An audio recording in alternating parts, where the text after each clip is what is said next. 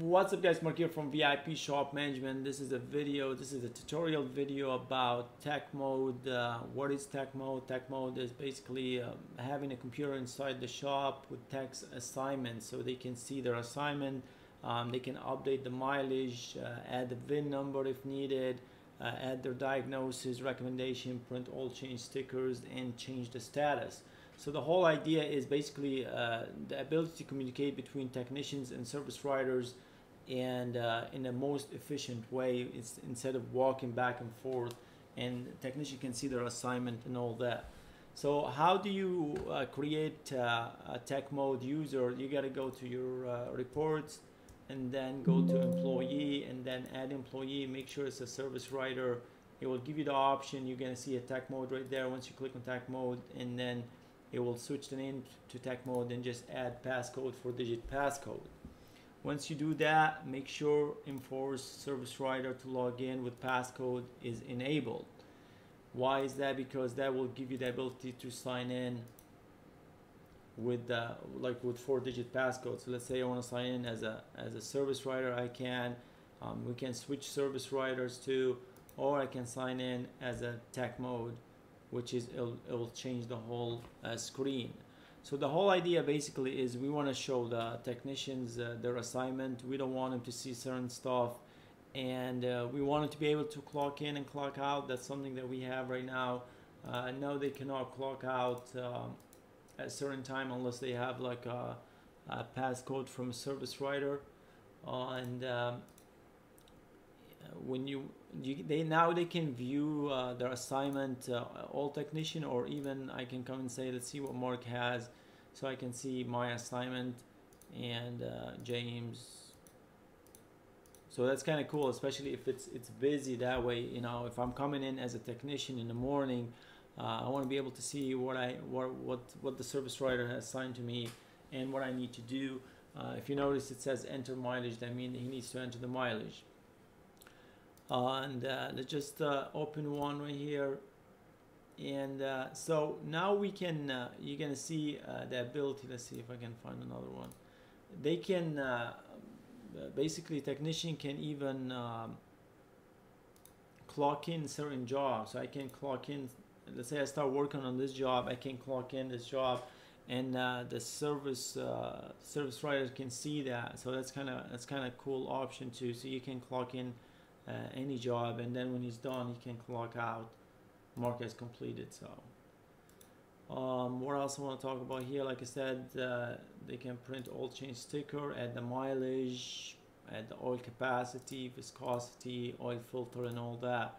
So they have all functionality to be um, a technician at the diagnosis recommendation read the customer request and um, exit. All right, so now let's look at the, the service writer uh, screen. How does the service writer assign these technicians? And we're gonna talk about some updates that we did recently to make it even a lot easier. Uh, but before I go, one more thing is the technician can remember that their their their uh, status is different. They have diagnosis, inspection completed. If he's doing inspection, yeah, they yes they can do inspection from here too which is something really important. And so they can do inspection. Um, and and once let's say let's say I did inspection on this car, let's just do it real quick, and let's just say he needs pads and rotors, and that's it. Uh, it's really fast uh, for both technician and service writer, and uh, inspection is completed. Uh, I forgot what was it for though. All right, so it was for the for the Chrysler. So let's uh, let's sign out. It's so easy now to switch between tech mode and, and service writer. So especially if you if you are the, the mechanic and the owner at the same time, and you want you need to switch, you can switch really simple. Whether you're on the cloud or local database, it doesn't matter. And so let's look at that. So this one it says the Chrysler uh, inspection is completed.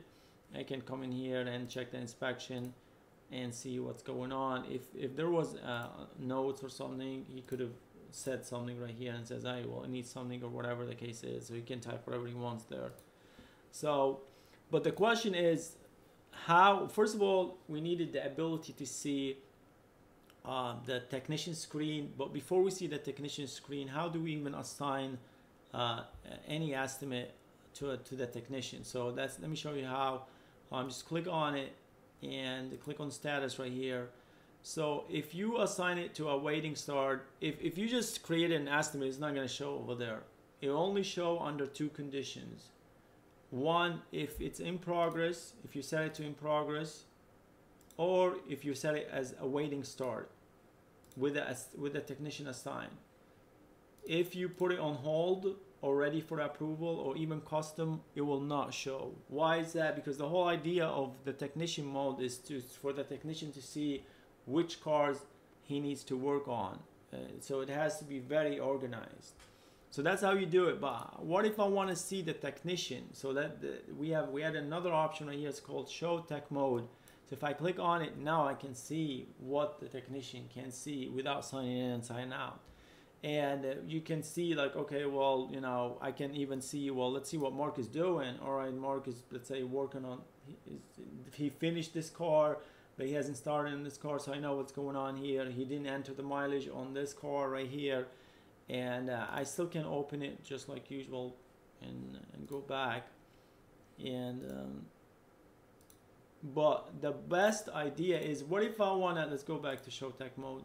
What if I want to I, I want to switch uh, this car uh, the setting from James to Mark. So how do I do that? Just click and hold now it's going to give you the option to change the status and assign a different technician. So I can say assign technician and I want to put it uh, for, let's say, Hannah. Now I can see Hannah. And uh, let's say I want to take this car. How do I take this car off? Let's say I don't want him to work on it right now. So I just click on hold and put it on hold. Now it's removed.